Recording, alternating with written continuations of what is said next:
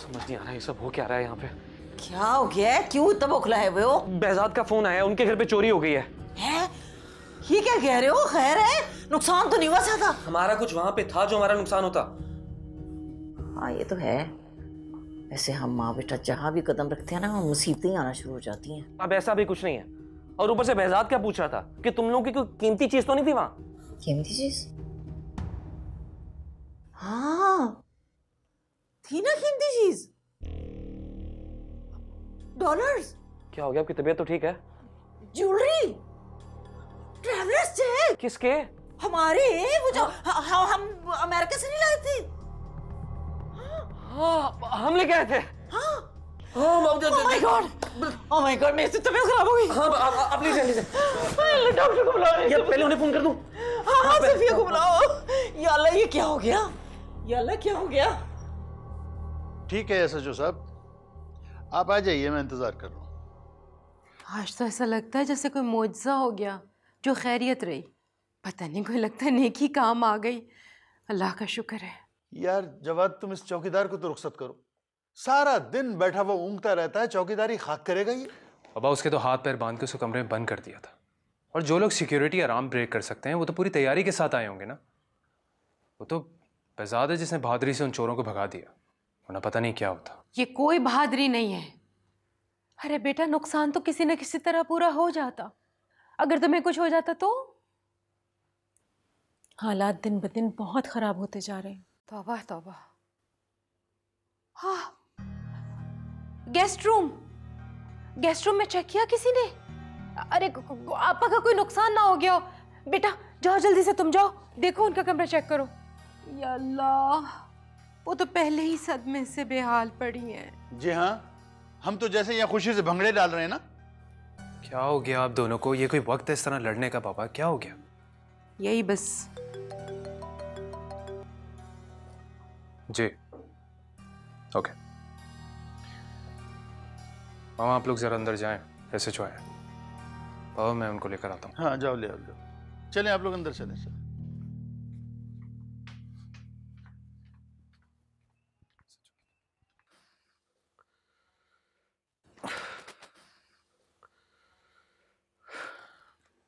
परेशान ना हो मिसेस एजाज शुक्र है कि नुकसान नहीं हुआ।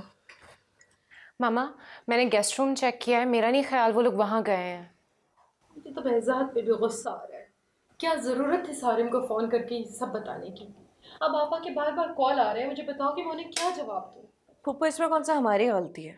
हमने थोड़ी ना करवाया ये सब। पूरे मुल्क का यही हाल है। अरे बेटा ये तो हम जानते हैं ना। जो अमेरिका से आए हैं उन्हें क्या पता? वो तो परेशान होंगे ना। मामा मेरे ख्याल से अब आप जाकर रेस्ट करें। टेंशन लेने से कोई फ़ायदा नहीं होगा। अच्छा अब हमें इजाज़त दें। काफ़ी देर हो गई। बहुत शुक्रिया सादिया। आपने पड़ोसी होने का हक अदा कर दिया। नहीं ये तो हमारा फ़र्ज़ था।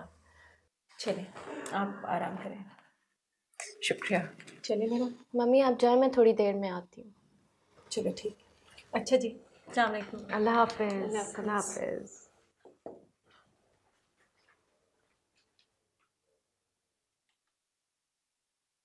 मेरी तो समझ में नहीं आ रहा। जब से ये लोग पाकिस्तान आए कुछ ना कुछ होता ही चला जा रहा है। फिर सारे में इतना अपसेट थे ऑलरेडी और अब ये हो गया। आई डोंट नो तुम शुक्र करो कोई नुकसान नहीं हुआ बड़ा और तुम हो तुम्हें सिर्फ़ सारिम की टेंशन है। सारिम ये सारिम वो। तुम हमेशा सारिब के बारे में इस तरह से बात क्यों करती हो? मैंने तुम्हें कितनी दफ़ा कहा है कि मुझे अच्छा नहीं लगता। अगर तुम्हें कुछ कहना है तो तुम मुझे कहो। सारिम को इन्वॉल्व करने की क्या ज़रूरत है? ऐसा मैंने क्या कह दिया जो तुम इतना इरिटेट हो रही हो? मैं जनरली एक बात कर रही थी अनाया। मेरा तुम्हें आइडिया नहीं है कि सारिम मेरे लिए कितने इम्पोर्टेंट है।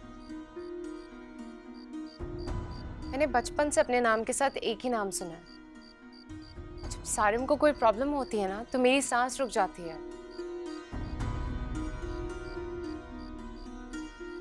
मेरा बेटा रात बहुत हो गई है। अब आप घर जाइए। आपके अबू भी आपका इंतज़ार कर रहे हैं नीचे।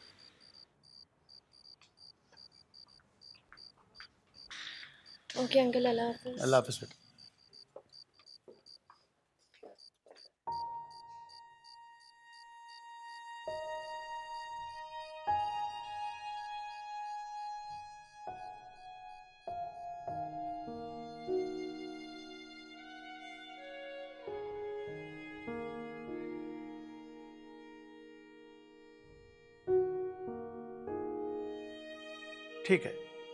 जैसी कोई इन्फॉर्मेशन मिले तो मुझे ज़रा बता दीजिएगा जल्दी प्लीज़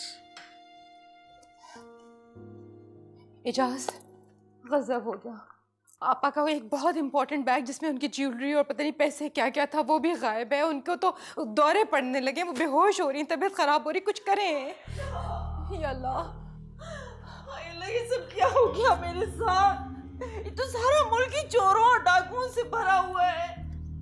तो मेरे तो सब कुछ ही ले गए एक एक पाई जमा की हुई सब कुछ ले गए सालिम आपा मगर मैंने और इनाया ने खुद जाके देखा था आपके कमरे में कोई बेतरतीबी नहीं थी तो हम समझे कि आप लोगों का सामान महफूज है। कैसी बातें कर रही हैं खाला? हमारा एक बैग था जिसके अंदर मामा की ज्वेलरी थी कैश था ट्रेवल्स चेक्स थे वो वाला बैग नहीं है। आप कैसे कह सकती हमारा कमरा महफूज रहा? सब सब ले गए सब। कैसा था वो बैग? ब्राउन कलर का बैग था लेदर का। अलमारी में पड़ा हुआ था मैंने खुद रखा था। हाँ। मैं देख कर आती हूँ एक दफ़ा फिर। बेटा आओ ना मेरे साथ करूँ? मैं कहाँ जाऊँ? बैठिए इत्मीनान से बैठिए यार। भाई आप जरा चेक कर ले रीचेक कर ले। हो सकता है वो बैग आपने कहीं और रखा हो। अंकल कैसी बातें कर रहे हैं? मैंने सब कुछ खुद देखा। हमारे पास वो एक बैग ही तो था। मामा की ज्वेलरी सारा कैश ट्रेवलर चेक सब कुछ उसी के अंदर था। अभी तो शुक्र करें कि हमारे पासपोर्ट उसमें नहीं थे वरना वो भी चले जाते। हाँ शुक्र अल्लाह का। मैंने तो इतने सालों में एक एक पैनी जमा की थी मेरे बच्चे ने दिन रात मेहनत करके कमाई थी। मैंने सोचा था पाकिस्तान जाऊँगी अपने बच्चे की शादी करूँगी धूमधाम से अपने सारे अरमान पूरे करूँगी। सब कुछ मामा मामा बस डॉक्टर ने मना किया स्ट्रेस लेने से। हाँ, कैसे ना लूँ स्ट्रेस अच्छा अच्छा आप आप इत्मीनान रखिए आपका जितना भी नुकसान हुआ है वो हम पूरा कर देंगे। ज़ाहिर है आप हमारे मेहमान हैं तो फिर ये नुकसान जो भी हुआ, वो हम ही को भरना पड़ेगा ना? कमाल करते हो एजाज। ऐसी बातें क्यों कर रहे हो? अब मैं तुम लोगों से नुकसान भरवाऊँगी, अपनों के साथ कोई इस तरह करता है क्या? ठीक है कि मेरे बच्चे ने मेहनत से कमाया हुआ पैसा था वो, लेकिन अब नहीं था नसीब में तो क्या करूँ मैं? मेरे तो समझ में कुछ नहीं आ रहा। हाँ अगर तुम मेरे लिए कुछ करना चाहते हो ना, वाकई तो बस एक रिक्वेस्ट है मेरी। अभी अभी मौलवी को बुला लो। और मेरे बच्चे और इनाया का निकाह पढ़वा दो। बस मुझे और तुम लोगों से कुछ नहीं चाहिए। अभी अभी ये कैसे मुमकिन है? क्यों नहीं हो सकता? मेरे दिल में तो अजीब अजीब वहम आ रहे हैं। पता नहीं किसकी नज़र लग गई है मेरे बच्चे की खुशियों को मेरे बच्चे की शादी को। कहीं कल वो स्नैचर मुझे गोली मार देते तो क्या होता? ना करे आपा कैसी बातें कर रही हैं आप? देखो मैं अपनी आँखों से सारिम की शादी देखना चाहती हूँ। अगर तुम लोग कहते हो ना तो मैं तुम लोगों को क्या आगे हाथ जोड़ देती हूँ। आपा कैसी बातें कर रही हैं? खुदा के लिए मेरे बच्चे की इनायत से शादी कर दो मैं अपने बच्चे की खुशी देखना चाहती हूँ। बस मामा बस। अंकल अगर आपको किसी भी किस्म की गारंटी की ज़रूरत है तो मैं देने के लिए तैयार हूँ लेकिन प्लीज़ अगर मेरी मामा को कुछ हो गया तो मैं खुद को कभी माफ़ नहीं कर पाऊँगा। प्लीज़ क्या मामा होगा? बस, बस।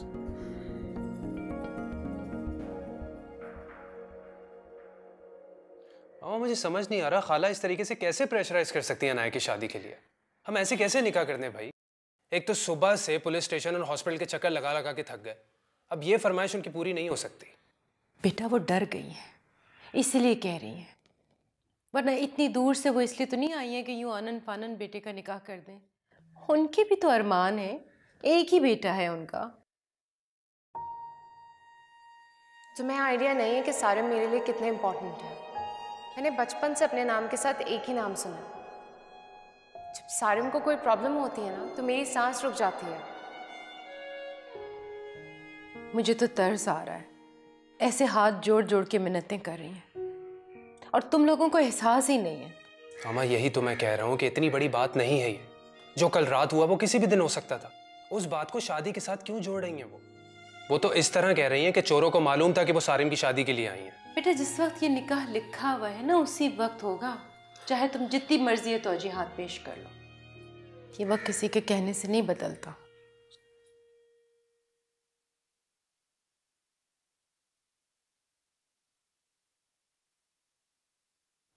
आप भी तो कुछ कहिए। चुप करके बैठे हुए उधर आपा बेचारी इंतज़ार कर रही हैं जवाब के लिए।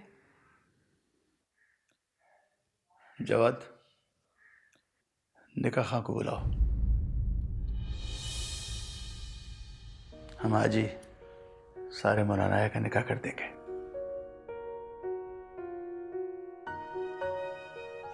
और आप अपनी बहन से कह दें कि एक हफ़्ते के बाद अनाया को रुखसत करके ले जाए।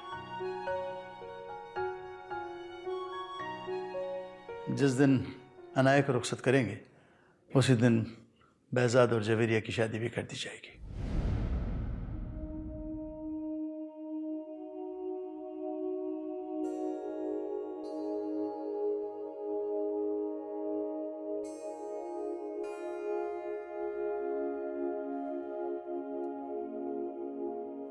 मैं आपको बताकर आती हूँ।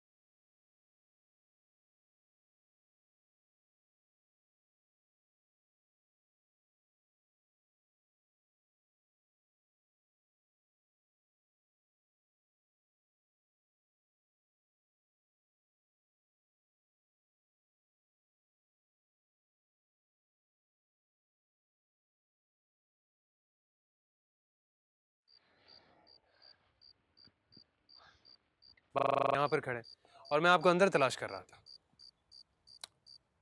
बस यार घर में इतना बड़ा वाक़ हो गया। ऐसे में निकाह की खुशी कुछ अजीब सी लग रही है मुझे। क्या कर सकते हैं बाबा? सब कुछ सब कुछ इतना जल्दी में भी तो हुआ। मुझे अनाया की मोहब्बत ने मजबूर कर दिया था। तुम तो जानते हो कि वो मेरी कितनी बड़ी कमज़ोरी है। मैं उसकी आँखों में आँसू नहीं देख सकता। बाबा वो सब तो ठीक है। लेकिन आप भी तो कितने इमोशनल हो। गए हक महर में भी कुछ नहीं रखवाया आपने। बेटा ये सारी बातें तो पहले बैठकर तय करने वाली होती है ना। तुम्हारी खाला ने तो ऐसा माहौल क्रिएट कर दिया था कि मेरा तो दिमाग ही माउफ हो गया। समझ में नहीं आ रहा था कि क्या हो रहा है। अब ये दिल परेशान है कि जो कुछ भी हुआ ठीक नहीं हुआ। अच्छा चले अब।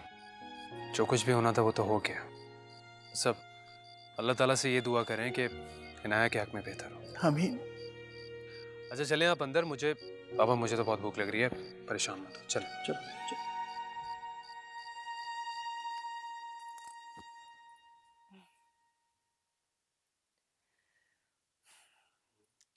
मुझे तो अभी तक यकीन नहीं आ रहा कि ये सब कुछ हकीकत में हो रहा है। ऐसा लग रहा है कोई ख्वाब है। आई विश इस ख्वाब की ताबीर तेरी सोच से भी बढ़ के हो। थैंक यू वैसे आज इतनी ऑफ़ क्यों है? बिल्कुल भी नहीं। मैं तो बिल्कुल ठीक हूँ। कुछ छुपा रही हो मुझसे? नहीं यार ऐसी कोई बात नहीं है। तो फिर मुझे ऐसे क्यों लग रहा है जैसे तुम्हें बिल्कुल भी खुशी नहीं हुई मुझे खुशी नहीं तो और कैसे होगी? तेरी सास को? हाँ समीना खाला तो बहुत ही खुश थी आज। उनका बस नहीं चल रहा था कि आज ही मुझे साथ ले जाती। अब बड़ी मुश्किल से एक हफ़्ता इंतज़ार करेंगी क्योंकि बाबा चाहते हैं कि मेरी और बहजाद की शादी एक साथ हो। एक हफ़्ते में। हाँ एक हफ़्ते का ही तो टाइम है। इतनी सारी शॉपिंग करनी है वो भी दो दो शादियों की। यानी किस तरह से होगा?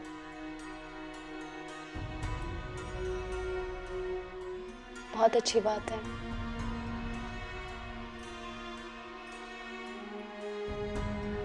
मम्मी की कॉल जा रही है मैं घर जाती हूँ। इतनी जल्दी? थोड़ी देर तो रुक जाओ अभी तो इतनी सारी बातें करनी है। मैं चेंज करके आती हूँ। रहने दो। इतनी तुम आज प्यारी लग रही हो। क्या जल्दी है चेंज करने की? अब मैं चलती हूँ। बाय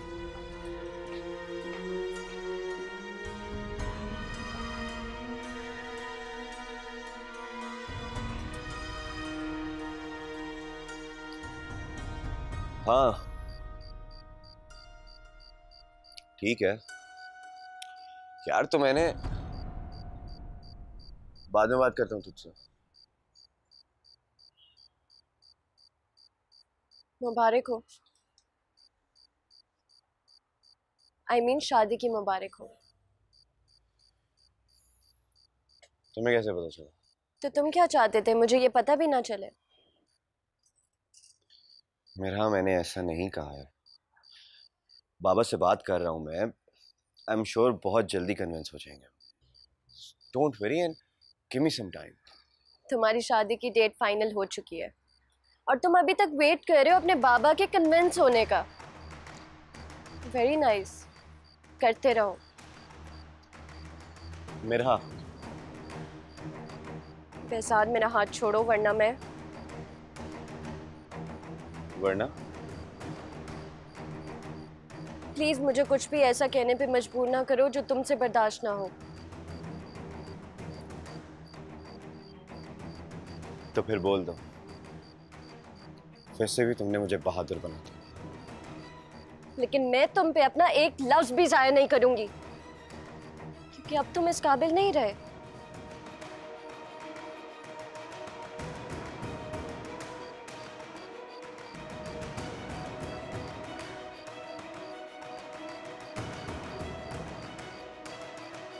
पापा ऐसी कौन सी आफत आन पड़ी थी जो आपने इतनी इमरजेंसी और इतनी उजलत में अनाया का निकाह कर दिया?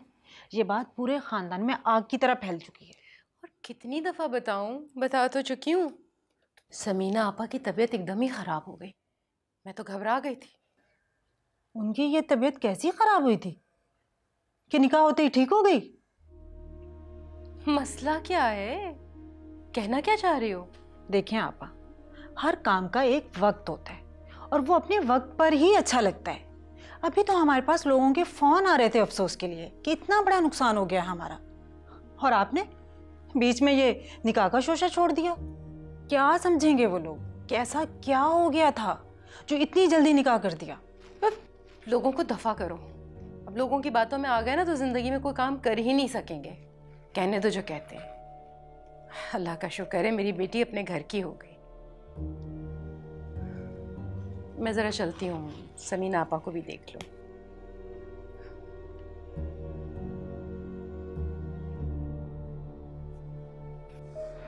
आपको क्या लग रहा था? कि आप उनसे ये बात पूछी हुई वो आपको सब कुछ सच सच बता देंगे लेकिन बेटा दाल में कुछ ना कुछ काला ज़रूर है। कहीं ना कहीं गड़बड़ है। और सारिम वैसे भी मुझे तो मुशकूक लड़का लगता है। अरे आशिता बोले। वो अब इस घर का दामाद है।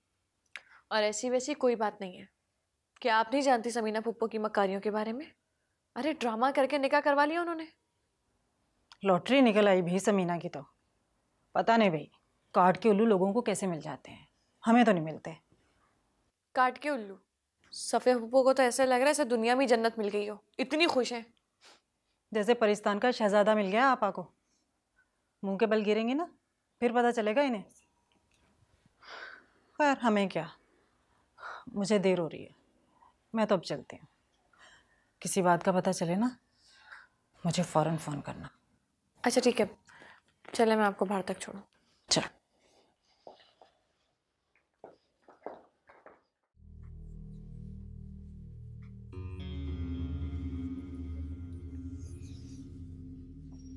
मान गए ना मुझे। हो गया ना सब कुछ। मुझे वाकई लग रहा है कि आपका अनाया से मेरी शादी करने का डिसीज़न बिल्कुल ठीक था। हमेशा अगर तुम मेरी बातें इसी तरह मान लिया करते तो आज एक सक्सेसफुल इंसान होते। इस तरह अचानक हमें भाग के नहीं आना पड़ता अमेरिका से। लेकिन तुमने तो मेरी किसी बात को कभी अहमियत ही नहीं दी। आज के दिन तो ऐसी बातें ना करें। क्या याद दिला दिया आपने?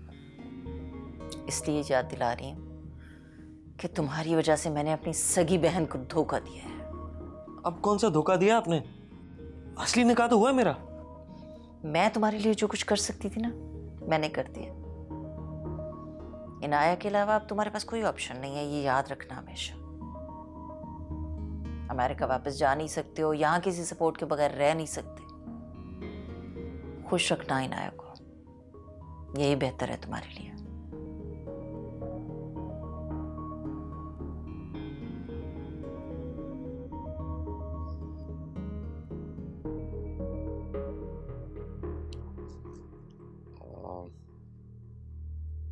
कंग्रेट्स थैंक्स कैसा लगा तुम्हें? बहुत अच्छा। आपको कैसा लग रहा है? वियर्ड क्यों? वियर्ड इन अ वे कि ये सब कुछ अचानक हो गया ना। अभी सोचा नहीं था कि इस तरह। वैसे बहुत अच्छी लग रही थी आज। इसलिए मैं सोच रहा हूँ कि जो कुछ हुआ अच्छा ही हुआ।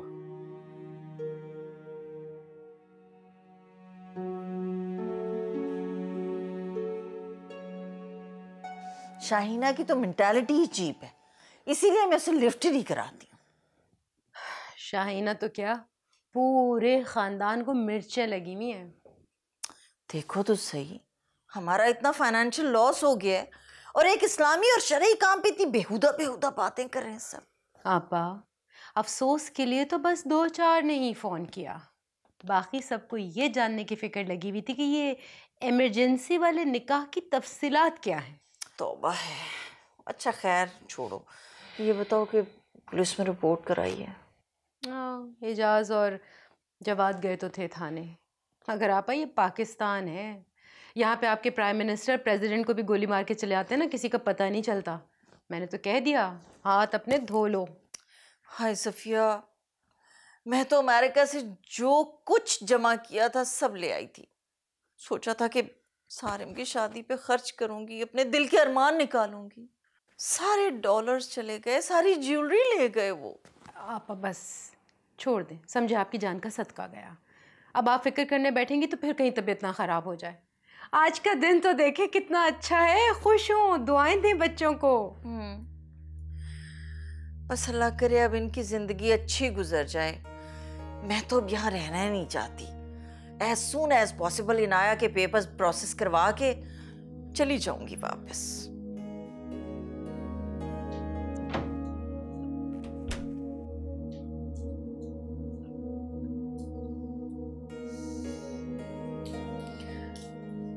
आप लोगों को अंदाज़ा नहीं है।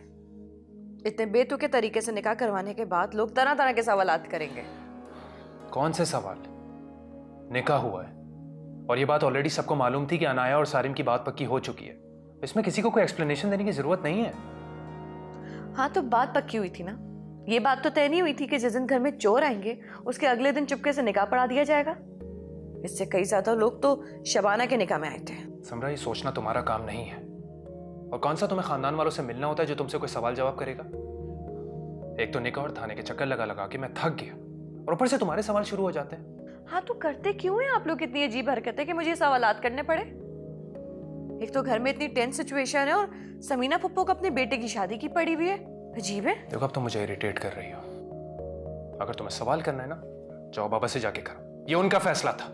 मुझे ये निकाह कम और ड्रामेबाजी ज़्यादा लगती है। वैसे तो एजाज अंकल बड़े समझदार बनते हैं। और एक औरत के हाथों बेवकूफ़ बन गए। तुम्हारा बाजा कई दिनों तक ऐसी बचता रहेगा। मुझे मालूम है मैं रात का जागा हुआ और सो रहा हूँ। जान छोड़ो मेरी तो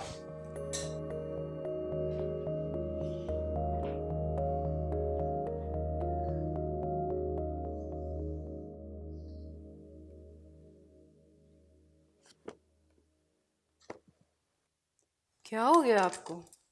इतने परेशान क्यों नज़र आ रहे हैं? पता नहीं क्यों मेरी छठी इस कह रही है कि मैंने ये कदम उठा तो लिया लेकिन कुछ गलत हुआ है। एक तो मैं आपकी छठी हिस्स से बहुत तंग आ गई हूँ। बाप बेटा खुश होने की बजाय किस बात का सोग मना रहे समझ नहीं आ रहा। जाने किस दानश्वर ने ये बात कही है कि औलाद के मामले में माँ का दिल ज़्यादा सेंसिटिव होता है। तो फिर आपको वो सब क्यों नज़र नहीं आ रहा जो मुझे नज़र आ रहा है? ऐसा क्या है आखिर जो आपको नज़र आ रहा है और मुझे नज़र नहीं आ रहा? रहने दे बस आपकी आँखों पर तो आपकी बहन की मोहब्बत की पट्टी बंधी हुई है। आपको क्या नज़र आएगा? अच्छा। मेरी आँखों पे बंधी पट्टी आपको नज़र आ गई पर अपनी बेटी की आँखों में सारिम की मोहब्बत नज़र नहीं आई। इसी बात ने तो मजबूर कर दिया मुझे। वरना आपका भांजा मेरी नाजों की पली बेटी के लायक तो नहीं है। सिर्फ़ अच्छी शक्ल सूरत ही अच्छे रिश्तों के लिए काफ़ी नहीं होती। हमारी बेटी इतनी मासूम है, इतनी सादा है। दुनिया तो उसने देखी ही नहीं है। किसी और घर जाती तो ससुराल के झमेले कैसे संभालती? अब ये सोचें कि कम से कम वो अपनी खाला के घर है। ये इस तरह की प्रॉब्लम्स तो फेस नहीं करेगी ना?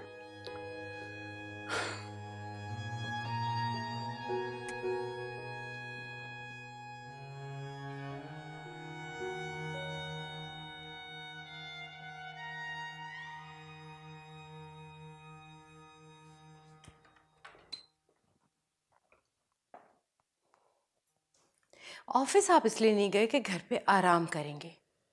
इतनी मोटी मोटी किताबें पढ़ के खाक आराम करेंगे। लीजिए। सेहत के ज़रिए उसूलों पर अमल करते हुए हमने किताब बंद कर दी। और ये क्या? चाय भी ठंडी कर दी है। चलें लाएँ आप चाय रहने दीजिए। आप यहाँ बैठिए। मुझे आपसे कुछ बात करनी है। जी। शाम को जहीर साहब के यहाँ जाना है। वो बेचारे बहुत दिनों से हमारा इंतज़ार कर रहे हैं। मैंने सोचा है कि बैजात के वलीमे के साथ साथ अनाया की रुखसती भी कर दूँ। इतनी जल्दी? क्यों? ना ही मैं उन लोगों से मिली हूँ ना ही बहजाद ने लड़की देखी है। इसीलिए तो कह रहा हूँ कि शाम को चलना है वहाँ। अब मिल लीजिएगा देख लीजिएगा उनको। और बैजाद ने लड़की देख के क्या करना है? हमारी आँखें नहीं है क्या? फिर भी मेरे तो ख्याल में कोई भी फैसला करने से पहले हमें उस लड़की से मिल लेना चाहिए जो बहजाद को पसंद है। फिर वही बेवकूफ़ी की बातें। अरे भाई जिस शहर में जाना नहीं है उसके रस्तों का पूछ के क्या करेंगी आप? ज़िंदगी जिन्होंने गुजारनी है उनकी पसंद मालूम करने में कोई बुराई तो नहीं है। ये सब मोहब्बत के चौंचले हैं जो वक्त के साथ साथ हवा हो जाते हैं। और रह जाती है सिर्फ़ शादी सो मैं बैजाद की कर रहा हूँ। आप मेरा फ़ोन दीजिए मुझे। मैं जहीर साहब को इन्फॉर्म कर दूँ कि हम आ रहे हैं। और बैजाद को भेजिए मेरे पास। मैं खुद बात करूँगा उससे। कहाँ है फ़ोन आपका? वो रखा हुआ सामने उठा के दीजिए। मुझे इस बात से कोई इंटरेस्ट नहीं है कि तुम शादी कहाँ करना चाहते हो और कहाँ नहीं। मुझे अगर दिलचस्पी है तो सिर्फ़ उस डील से जो मैं जहीर के साथ करना चाहता हूँ। बाबा आप क्यों मेरी शादी को अपनी बिज़नेस डील बनाना चाहते हैं? जिसको मैं पसंद करता हूँ उससे बारे में पूछिए तो सही कुछ। बरखुरदार मेरा दिमाग खराब नहीं है। कि किसी एक्स वाई जी लड़की के लिए मैं अपने करोड़ों की बिज़नेस को खत्म कर दूँ। तुम तो शुरू ही से एक अहमक वाकया हुए हो। तुमने किया क्या है सिवाय एक डिग्री लेने के? सारा बिज़नेस तो जवाब ने संभाल रखा है। और अगर मैं शादी ना करूँ तो? तो? तो मैं आज ही अखबार में तुमसे लाताल्लुकी का इश्तार छपवा दूँगा। मेरी जायदाद में से फूटी कौड़ी नहीं मिलेगी तुम्हें। उठाओ अपना बोरिया बिस्तरा। जाओ यहाँ से कहीं। अपना इंतज़ाम कहीं और कर लो। मैं भी देखता हूँ कि तुम जैसे कंगले को कौन अपनी बेटी देता है। बाबा ये ज्यादती कर रहे हैं आप। क्या हो गया है आपको? हैं? तसल्ली से बात नहीं कर सकते हो क्या बेटा? कैसे तसल्ली से बात करूँ मैं? आपकी औलाद ने मुझे इस काबिल छोड़ा है। बड़े परिश का बूथ सवार हुआ वो आपकी भतीजी को उठा लाया। बेटी के लिए आपको भांजा पसंद आ गया। क्या मुझे इतना भी हक हासिल नहीं कि एक बच्चे की शादी में अपनी मर्ज़ी और पसंद से कर सकूँ? कहीं ज़्यादा अच्छा था कि मैं बे औलाद ही मर जाता। अस्तगफिरुल्लाह क्या हो गया एजाज? सोच समझ के बात करें आप। बाबा। दूर हो जाओ मेरी नज़रों से तुम। मैं मर भी जाऊँ तो मेरे जनाजे को कांधा देने मत आना तुम। ये वसीयत है मेरी। तुम जैसी नाफरमान औलाद मुझे बिल्कुल नहीं चाहिए। नहीं है कोई ज़रूरत मुझे तुम जैसे बच्चों की।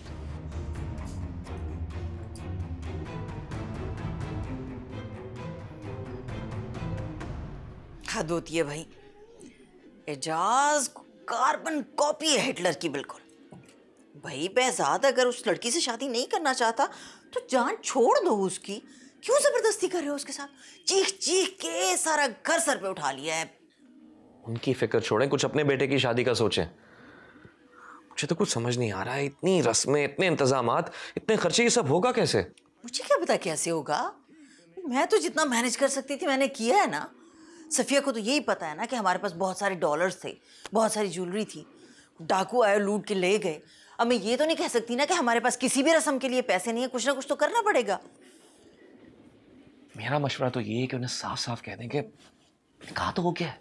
अब बाकी रस्में क्या करनी है? और वैसे भी इन फजूल रस्मों पर हम फजूल खर्ची नहीं करना चाहते।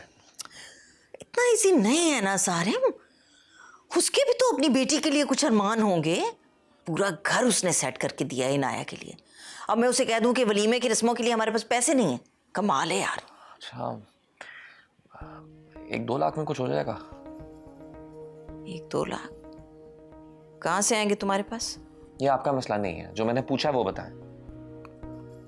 हम्म वलीमे का जोड़ा तो आ ही जाएगा। चले हम फ़िलहाल वलीमे का जोड़ा तो लेना बाकी कुछ ना कुछ करते हैं हम। वैसे जल्दी इंतज़ाम कर लो। वक्त बहुत कम रह गया इनाया को लेके जाना है शॉपिंग के लिए।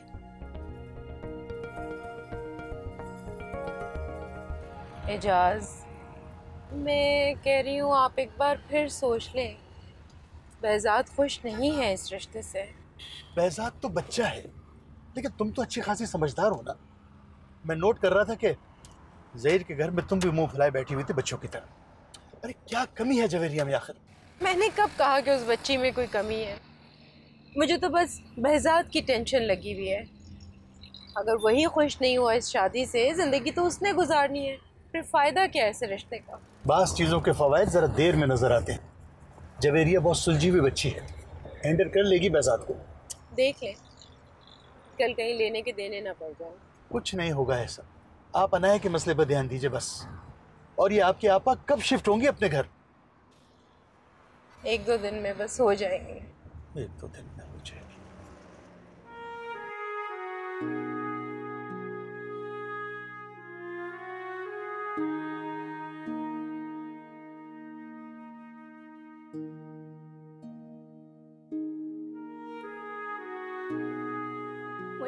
गुस्सा नहीं है, मुझे गुस्सा खुद पर आ रहा है। सब कुछ जानते पूछते मैंने तुम पे ट्रस्ट किया। ये भी जानती थी कि तुम तो लाइफ में एक हफ़्ता सब्जेक्ट मर्ज़ी से नहीं पढ़ सके। बैठ के यहाँ पे छुप छुप के पेंटिंग्स करते हो। लाइफ पार्टनर चूज़ करोगे। अपनी मनोज शक्ल लेके आए ना, मेरे सामने मत आना।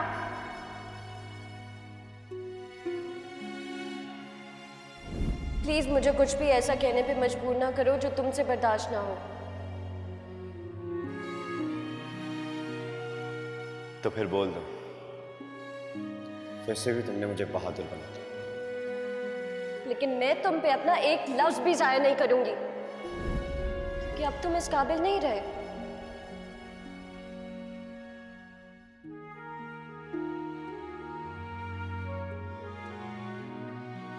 इनाया आ जाओ जल्दी से। बस आ गई मामा। बेटा आपा इंतज़ार कर रही नीचे गाड़ी में कब से? बस आ गई। आपने कंफर्म बाबा से पूछ लिया है? हाँ बेटा आपा ने पूछ लिया था तभी तो भिजवा रही हूँ। आपको पता है ना बाबा का मुझे फिर से उनकी डांट नहीं खानी? मुझसे बेहतर उन्हें कौन जानता है? खैर तुम्हें शर्माने की बिल्कुल ज़रूरत नहीं है। जाओ अपनी पसंद से सारी शॉपिंग करना ठीक है? ठीक है।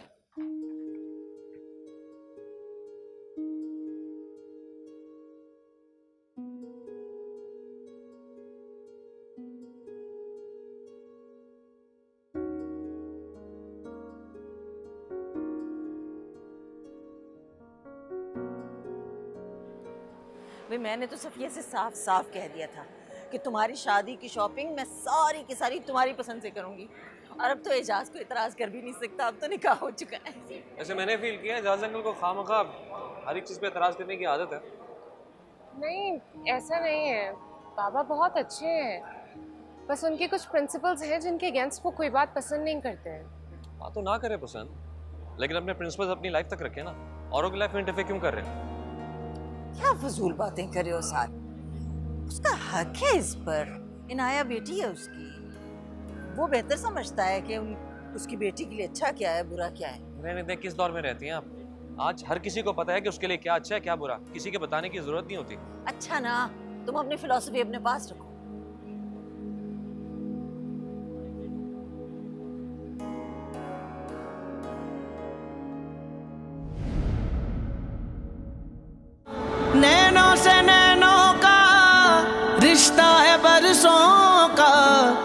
है जियो।